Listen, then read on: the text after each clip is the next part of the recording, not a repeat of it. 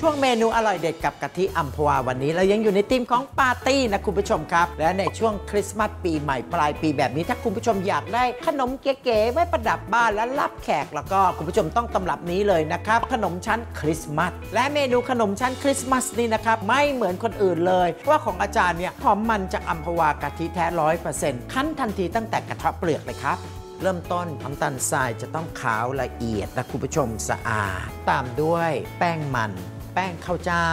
และสุดท้ายคุณผู้ชมครับ แป้งเท้าใหญ่ม่อมคนส่วนผสมทั้งหมดนี้ให้เข้ากันซะก่อน จากนั้นจึงค่อยเติมส่วนผสมที่เป็นของเหลว ถึงขั้นตอนสำคัญแล้วล่ะคุณผู้ชมครับ เราจะใส่นี่เลยครับอัมพวากะทิแท้ร้อยเปอร์เซ็นต์ขาวข้นหอมกลิ่นมะพร้าวอ่อนๆแบบธรรมชาติ ไม่หืนเพราะว่าไม่ได้แต่งกลิ่นและก็สีสังเคราะห์ หอมมันกำลังดีนะครับ ใส่ลงไปส่วนหนึ่งก่อนนะคุณผู้ชมนะ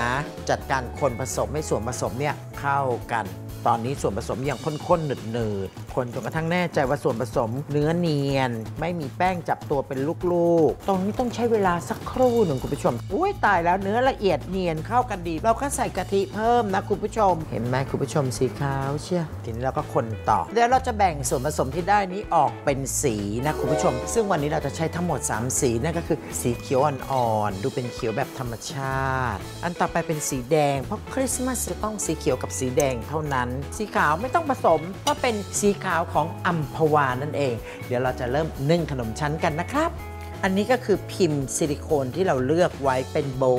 ตรงนี้เราจะใช้เป็นสีแดง จัดการหยอดสีแดงเนี่ยลงไปเพื่อให้เป็นโบก่อนนะคุณผู้ชม เสร็จแล้วก็เปิดฝา น้ำกำลังเดือดนำพิมพ์ซิลิโคนที่หยอดสีแดงเป็นโบลงไปปิดฝา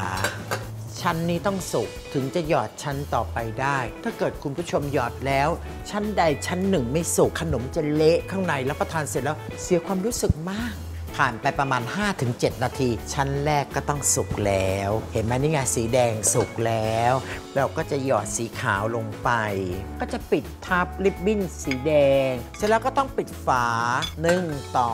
ประมาณ 5-7 นาที ต้องแน่ใจว่าสุกจริงครับ หยอดแต่ละชั้นให้มีความหนาใกล้เคียงกัน เพราะว่าชั้นไหนหนามาก ก็ต้องใช้เวลาในการนึ่งนานนะคุณผู้ชม อะเราก็ใส่สีเขียวไป